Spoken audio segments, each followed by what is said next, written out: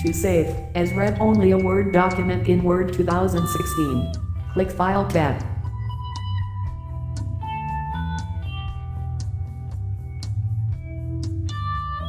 On Info, click Protect Document.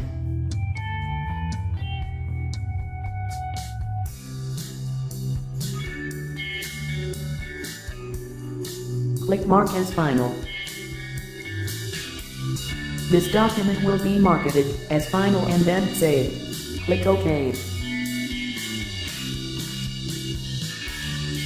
This document has been marked as final indicate that editing is complete and that this is the final version of the document.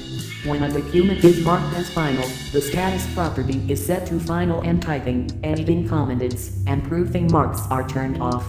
You can recognize that a document is marked as final when the mark as final icon displays in the status bar.